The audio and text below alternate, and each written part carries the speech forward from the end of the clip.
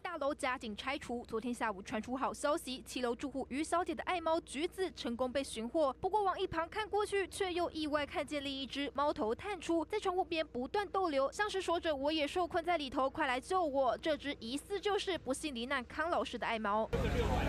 傍晚，搜救人员将诱捕笼和罐头放进大楼。斗场的康爸爸点头证实，但望着大楼却是不发一语。不过目前仍有四鸡三猫可能还受困。网友惊见里头，其中两只鸡拍打翅膀找吃的，生命力顽强。还有网友开心鸡还活着，订了蔬菜，请媒体空投给屋内鸡只吃，让送餐的外送员满头问号。我想要鸡套单就送过来了，我也看不懂为什么什么什么鸡这样。